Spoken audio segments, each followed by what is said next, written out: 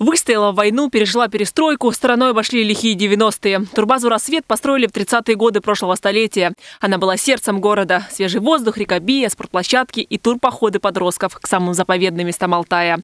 На этом месте били фонтаны, цвели цветы и раздавались детские голоса. Находилась здесь детская турбаза «Рассвет». Ежегодно она принимала до 20 тысяч ребятишек со всей России. Теперь здесь гробовая тишина, а вместо райских кущ высятся коттеджи.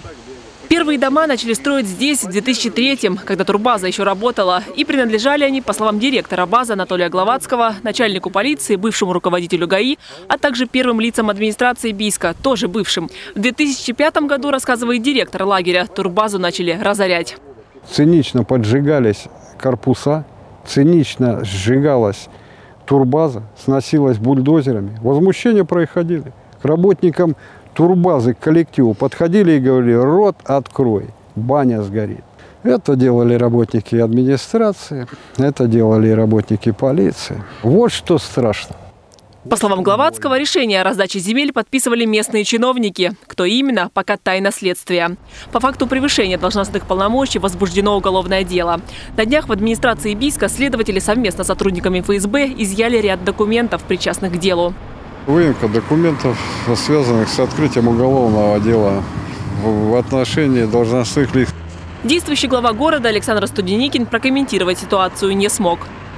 Александру Петровичу сейчас не до этого, ввиду того, что у него встречи с населением.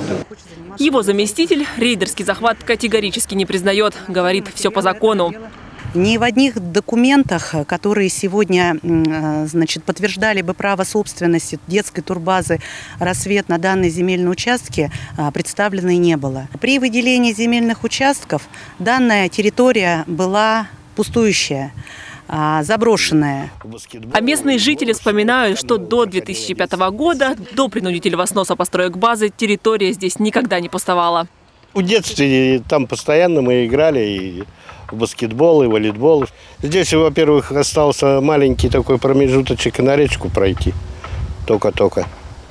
И, наверное, и тот последний застроят скоро. А землю турбазы тем временем продолжают перепродавать. Некоторые участки за короткий срок обрели уже по четвертому хозяину.